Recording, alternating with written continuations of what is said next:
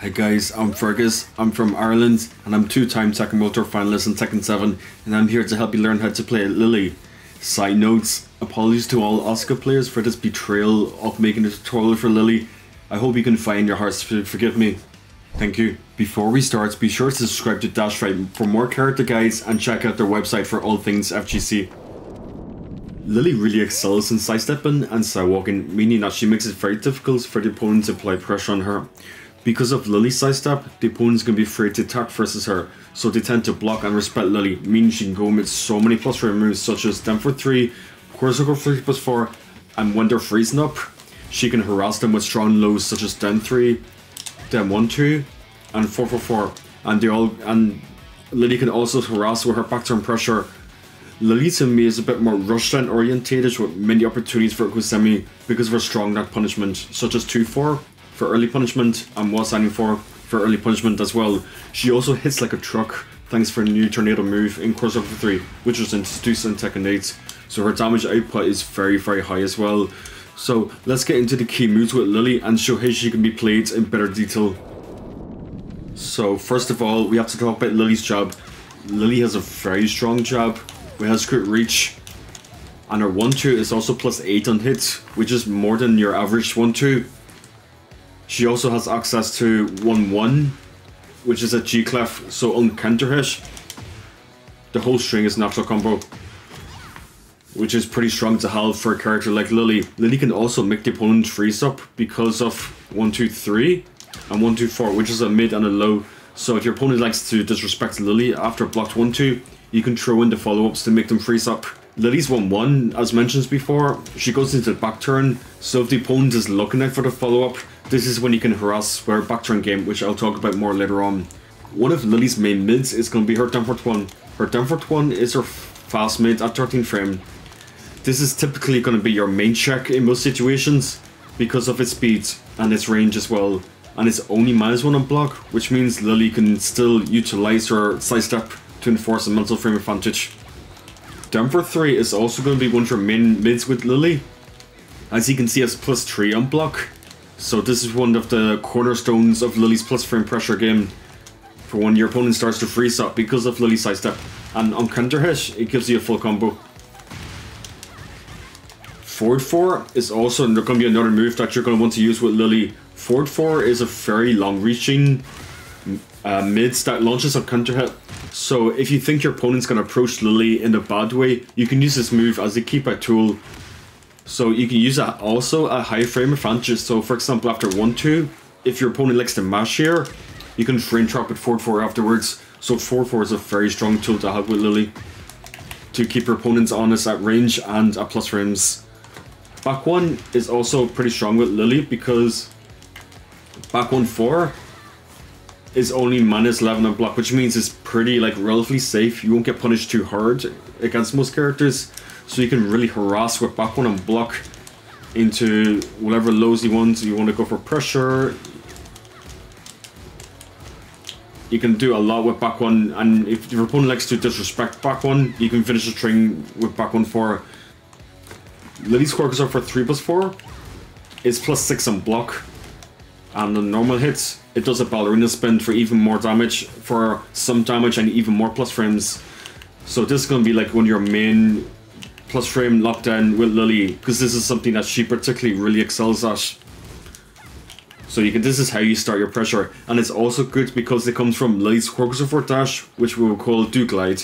So Dew Glide can actually go under highs and jabs meaning you can use this to approach your opponent and then you can use this to apply pressure on them. Another move with Lili is her 4-3. 4-3 is one of her main homing moves. Now the range is a little bit short so you want to use it up close on counter hit, you get a free cursor for the free cursor for three. And on normal hits, you get knockdown, which you can apply pressure with Lili afterwards. Remember, Lili gets a lot of knockdowns in her tool set, so it's important to notice. Another move with Lili you're, you're going to use a lot is Demfort 3 plus 4. Demfort 3 plus 4 is a long range normal hit launcher. So as you can see, so ideally you're going to use this as a whip punisher, or you can use it to approach the opponent with on block, there is a mind game to play. So you can hold back to block most things, or you can hold them back to make some stuff with. It's a mind game on block, and it's a situation to be studied for sure. You can use this as a whip punisher from range, or you can just use it to approach and fish for a launcher. Lili's up for 3 is just your typical hop kick. It has tracking to one side. It's a decent whip punisher. If you see your opponent with something up close, you can use for 3 as a quick punisher. Or if you just simply read a low coming, or you just use it as a panic tool, you can use hop kick as an option for this. While standing 4 is pretty strong with Lili because it's safe, it knocks down, meaning you can go for your Okizeme afterwards, between your lows or maybe your mids. So it's a pretty strong knockdown tool. You can use this as a punisher for lows, or you can use this as a safe mid poke. You can approach the opponents with the aforementioned Dew Glides, and you can use while standing 4. So this is strong if your opponent likes to be ducking for this so if your opponent's looking stuck this because it's a high, this is when you can start introducing your mids. Another move with Lili is her FC Danforth one. FC Danforth one is strong because it's 14 frame, so it's quite fast. On counter hit, you get a free follow up. So typically, you want to use this when you feel like your opponent's getting a bit aggressive. So you just kind of duck, make something work with the duck, and use FC Danforth one. Another strong thing about FC Danforth one is that it goes under highs, but it can also go into certain characters' mids, so it's worth learning those situations as well. So FC Danforth 1, even on normal hits, you get knocked in, which Lili has plenty of in her toolset, and again, you can apply your pressure from there, and you're okay. Dan 3 is going to be one of your main low pokes with Lili because it has very good range, it has very good tracking, and on counter hit, you get some extra plus frames.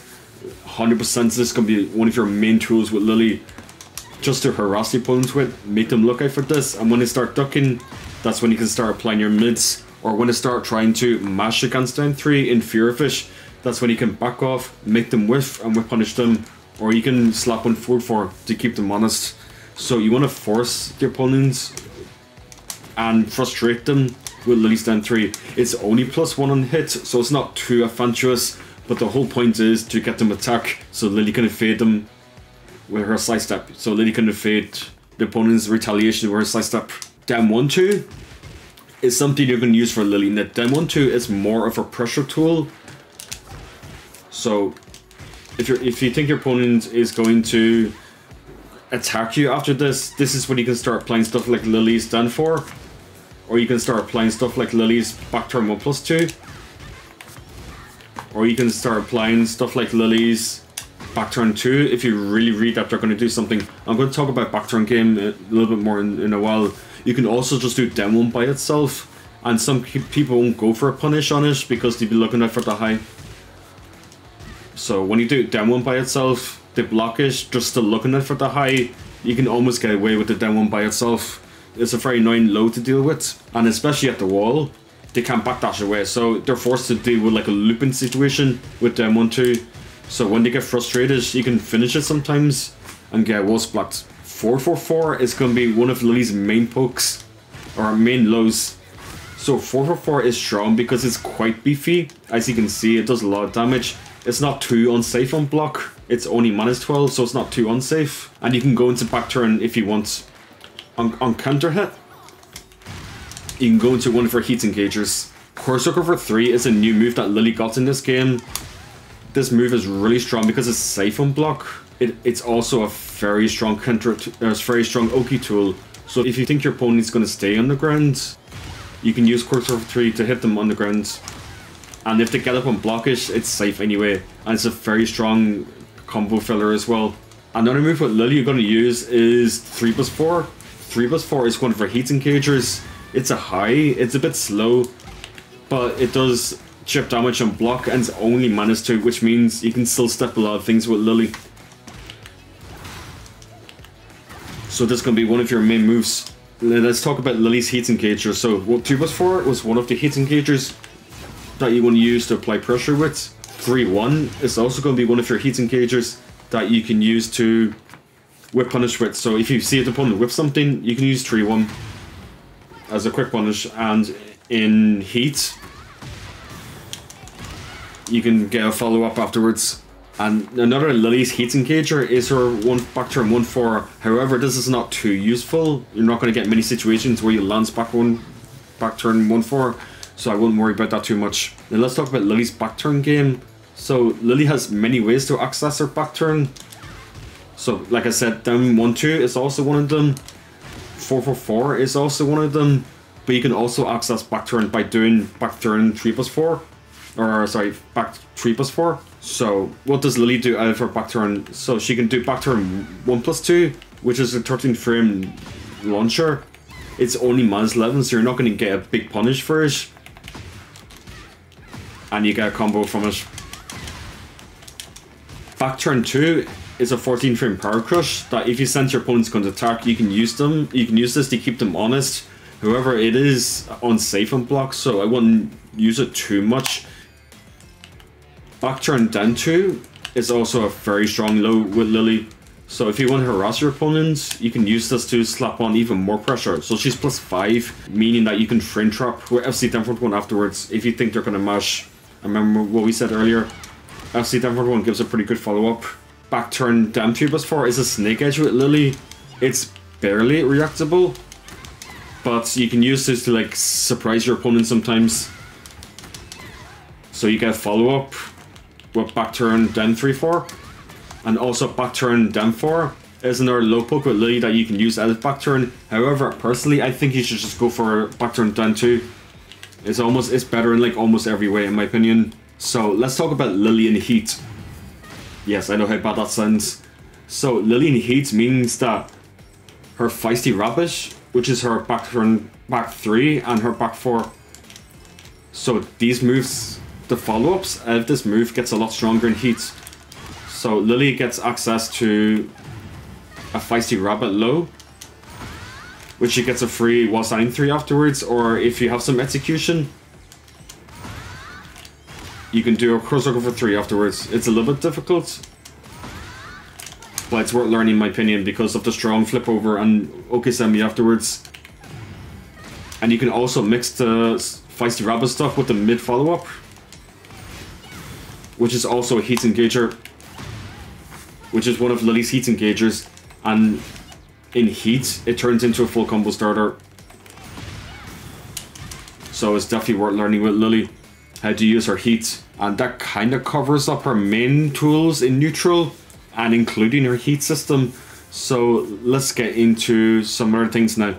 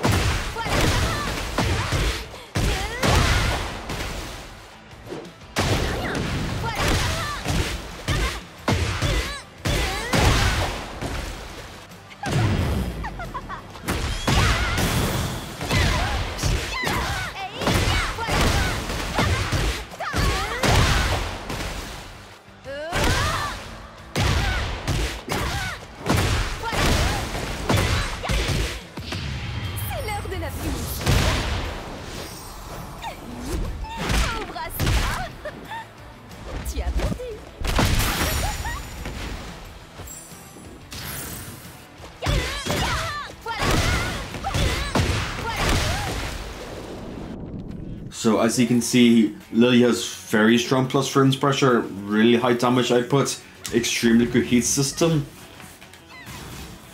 So her heat smash, she forces 50-50 between the back turn 1 plus 2 or the back turn snake edge or wherever low you want for safety reasons. Lili also has access to all those plus frames I've mentioned, crazy Oki tools, really strong punishments, and just overall I think a pretty good heat game as I demonstrated earlier with the Feisty Rabbit low mix-ups and just include and she has a low heat smash as well, which is extremely strong to health in general. So Lili has amazing mix-ups on top of everything else that I mentioned.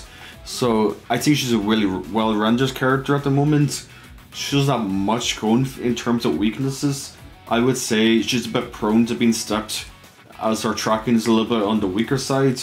However, other than that, she is a very well-rendered character, and I think she's a really good spot on the tier list at the moment in Tekken 8. You can also check out all things shown in this video in the text version via the link in the description. If you like this video, please leave a like or comment below with your thoughts. Thanks for watching.